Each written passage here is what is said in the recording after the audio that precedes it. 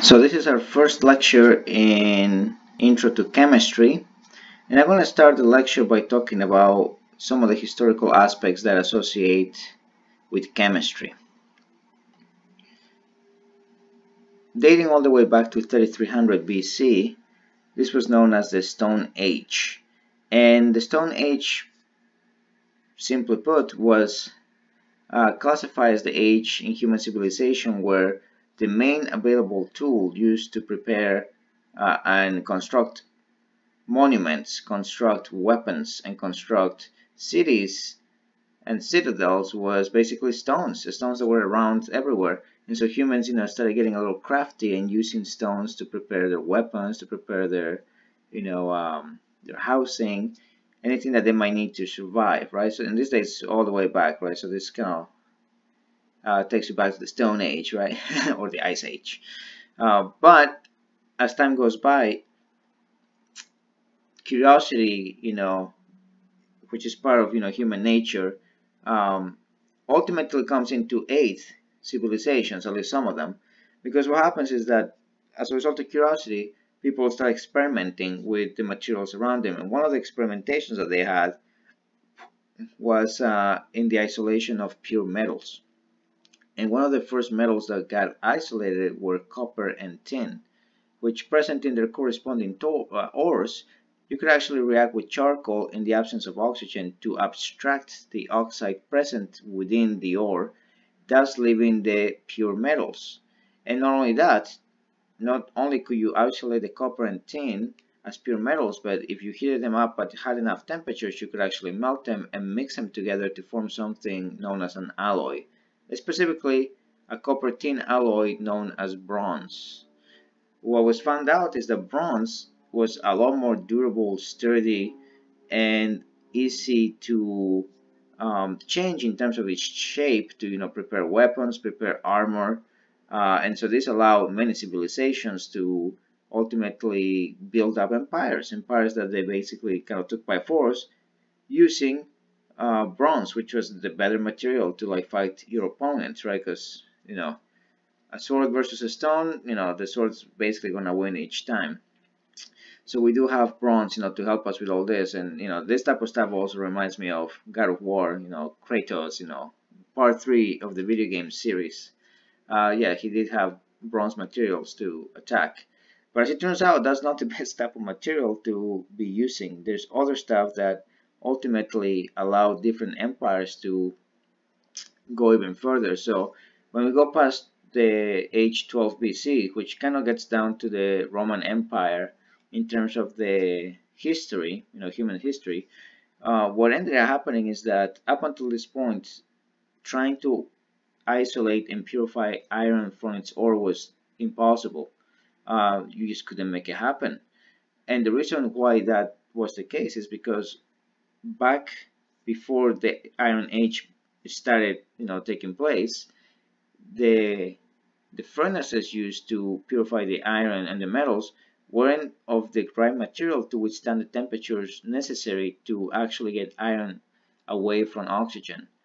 And it wasn't until this, the right ceramic was prepared to, you know, um, prepare the proper furnace that iron was finally isolated.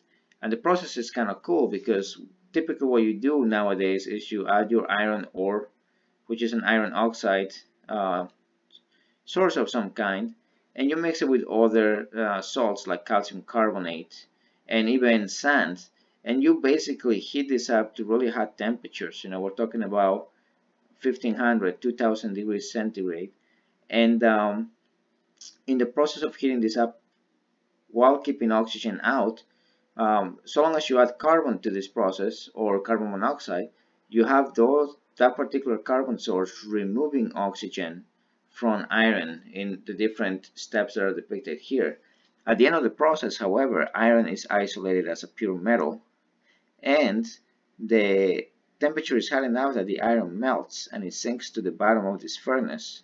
You can actually collect it through this outlet at the very bottom of the furnace itself. Anything that sits on top of the iron gets uh, removed from the upper portion right here uh, and it's known as slag. Now, needless to say, the iron that we get is a lot more durable, a lot more sturdy, and a lot more lethal than bronze. So the civilizations that developed the process of um, purifying iron from its ore became you know, the big empires that we know, such as the Roman Empire, right? So, uh, and that's not the only empire, by the way, that was able to isolate iron and take advantage of. You also had uh, Sauron, you know, trying to utilize all the iron that he could get his hands on to, you know, take care and take over Middle Earth.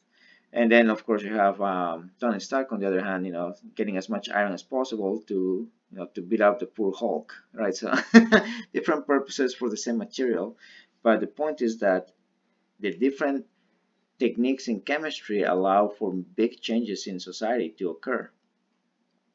And another historical aspect of chemistry that happens during the Iron Age, which is, uh, or you know, kind of in between the Iron Age and Modern Age, is uh, alchemy. Alchemy is like the the younger version of chemistry, except that it was not as well put together. Um, the idea back then was that we had four main elements: air, fire, earth, and water, and there were properties associated with each one of those elements in combination with each other. Like air and water gives you wetness. Air and fire gives you hotness. Fire and earth gives you dryness, and earth and water gives you coldness. Um, so these were kind of the properties, but more important than that was the idea that within the air lied something called the ether. And within the ether, there was this pure um, gem known as the Philosopher's Stone. And so the alchemists were trying to, they were basically experimenting with chemicals in the hopes that they would figure out how to extract the philosopher's stone, the stone from the ether. And the reason they wanted to do that was because with the philosopher's stone they could actually transmutate, change impure metals like tin or copper into pure metals such as gold and silver. And so the idea was that whoever was able to isolate the philosopher's stone would become rich beyond their wildest dreams, right? Um, the problem with this is that um, turns out there is no ether and there is no philosopher's stone. So the idea of transmutating one element into another was really not a possibility, at least not until the era of nuclear chemistry um, started, but that was 3000, well actually more like 300, 350 years too early for the process to actually take place now. So alchemy was kind of uh, dead in the water as far as what they were trying to achieve. But in the process of trying to get to to this impossible task that would never happen, um, what they ended up doing is setting up the stones, the, the baby steps, for what ultimately became chemistry. And when the 1600s AD took place, this is when something major happens. This is when alchemy ceases to exist and modern chemistry is born. And the reason why is because it's here that the scientific method gets established. Because up until this point, everything with alchemy was uh, mystery. And, and, sometimes on purpose, people did not want others others to you know mimic what they were doing because they were afraid that they would find the ether before they did and be able to extract the philosopher's stone before they did and then you know get screwed over in the process. So everything was kind of like left on purpose kind of um, ambiguous and almost as riddles. So it was not helpful. And sometimes information that wasn't even necessary was included like what's the position of the stars you know and or what time at night uh, is the experiment being carried out? And ultimately these things didn't matter whatsoever but they believed that they were important at the time so when the scientific method got established this is where a set of rules was put forward to make sure that information that is not necessary is omitted and information that may seem of importance could be actually proven to be important as opposed to just assuming that it is important. So when the scientific method is established, modern chemistry begins. The periodic table begins to take shape and form. Elements are found based on the periodic table and you start creating laboratories that you know you can actually have uh, materials saying handle materials and do constructive chemistry with with a proper understanding so what the scientific method basically is is it starts at something known as a hypothesis. The hypothesis is an educated guess as to why something is happening. Like you could look at an event and say, huh, this took place. I think it took place because of this. But you don't leave it as that. That will be your hypothesis. But in and of itself, it's just a guess. If you want to get something more out of it, you have to experiment. Do experiments that can prove or disprove whether your hypothesis is right or wrong. And the idea right here is that you don't take hard feelings against the result. The result is going to be what it is based on the rules of nature. If your understanding of nature is a little skewed, then your answer is probably going to be no when you perform the experiments. Your hypothesis is wrong. And if that's the case, you have to go back and reshape your hypothesis to explain why the process that you saw in the first place is happening. If the answer is yes, then you go back and create new hypothesis. And by doing this over and over, what you end up doing is kind of shaping a roadmap of the underlying principles that may be at play that lead to such an event happening. So after this gets done a good number of times, eventually with the roadmap, you end up developing something known as the law. Now the law is, in essence, the combination of all these experimental uh, observations that have been made in the hopes of proving or disproving the, the different hypotheses. Uh, and together, empirically, they kind of describe the results, but they don't come as close as to explaining them. They just say, okay, if you do this, if you mix A and B, C is going to happen. They go as to saying that, even kind of like making predictions, but they don't quite explain why it is actually happening. So that's more like a correlation that you ultimately do in terms of like the big picture. But once you see and you have this big picture, then you start saying, well, um, let's see if the law makes sense. Let's make predictions based on the law. And if you continue getting answers that validate the law, then the law becomes stronger, stronger in terms of its uh, regard in the scientific world. If the answer is no, then your law basically kind of ceases to exist and you have to go back and try to come up with a better explanation for everything you've seen. And if enough times the law is validated, at one point you can turn it into a theory. Now the point of the theory is not to say that, okay, you did enough experiments so that this qualifies as, as a theory, but rather, here's the point where you introduce hard uh, empirical and scientific uh, evidence, you know, like some core concepts of science like physics and chemistry. And with those concepts as the starting points, you develop and derive an actual explanation of what's happening around you. So the theory is in fact the biggest, most robust portion of the scientific method. It tells you why some things are happening uh, and you know it basically predicts what things are going to happen and on top of that it summarizes the entire set of experiments that have been observed up until that point.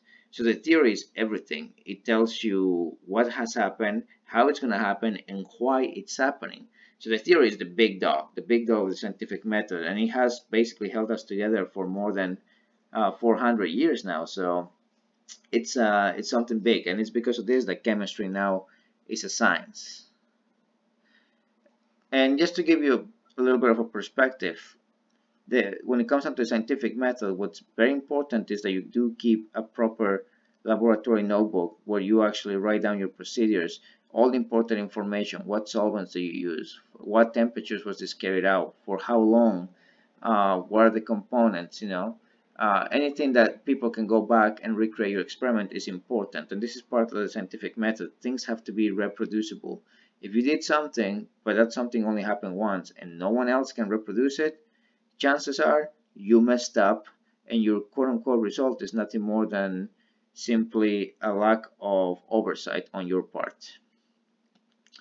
Alright, uh, one last thing that I'm going to mention is uh, now chemistry that we have defined it and we've gone through the history of it to some extent.